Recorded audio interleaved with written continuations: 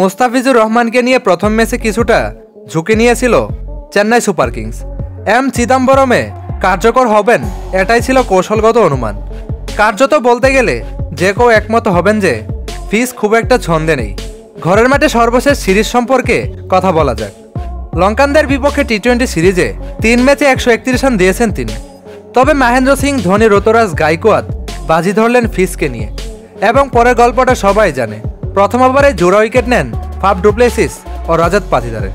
পরের ওভারে বিপজ্জনক বিরাট কোহলি ও ক্যামেরন গ্রিনকে ড্রেসিং রুমে পাঠান তিনি। ফিস প্রথম ইনিংসের পর সর্বোচ্চ উইকেট শিকার হিসেবে পার্পল ক্যাপ পেয়েছিলেন। কিন্তু দ্বিতীয় ম্যাচে ফিসকে নিয়ে সংশয় রয়েছে। ফিস মঙ্গলবার রাতের খেলা শুরু না করলেও অবাক হওয়ার কিছু নেই। কারণ এরই মধ্যে দলে যোগ দেন শ্রীলঙ্কান খেলোয়াড় মাথিসা ফাতিরানা। তিনি ইতিমধ্যে চেন্নাইয়ের হলুদ জার্সিতে নিজেকে প্রমাণ করেছেন। ডেথ ওভারেও এটি খুব কার্যকরী। গত মৌসুমে বারো ম্যাচে উনিশ উইকেট নিয়েছিলেন পাথিরানা। শেষ চার ওভারে চোদ্দ ম্যাচে আঠারো উইকেট নিয়েছেন পাথিরানা। ফিজের বদলে পাথিরানাকে নেওয়া হলে চেন্নাইয়ের সঙ্গে অন্যায় হবে না। তবে ফিজ নিজেকে প্রমাণ করেছেন।